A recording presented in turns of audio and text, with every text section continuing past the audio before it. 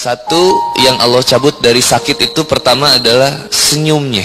Maka seseorang yang sakit akan sulit untuk tersenyum. Kemudian yang kedua, yang dicabut adalah selera makannya. Dan yang ketiga adalah dosanya.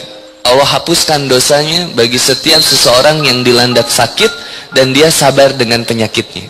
Tapi luar biasanya Allah akan kembalikan dua hal, tapi Allah tidak kembalikan satu hal. Ketika dia sudah sehat, Allah kembalikan senyumnya dan Allah kembalikan selera makannya.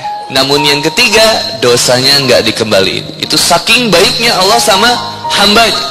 Allah cabut tadi nikmat sehat, nikmat selera makannya dan dosanya, tapi tidak dengan kemudian dosanya Allah kembalikan. Maka Allah senantiasa mencintai hamba-hambanya. Seandainya hambanya terus bersabar dalam setiap apa pun yang menimpa dalam dirinya. Semoga kita semua diberikan kesehatan, tidak hanya sehat raganya, tapi sehat juga jiwa.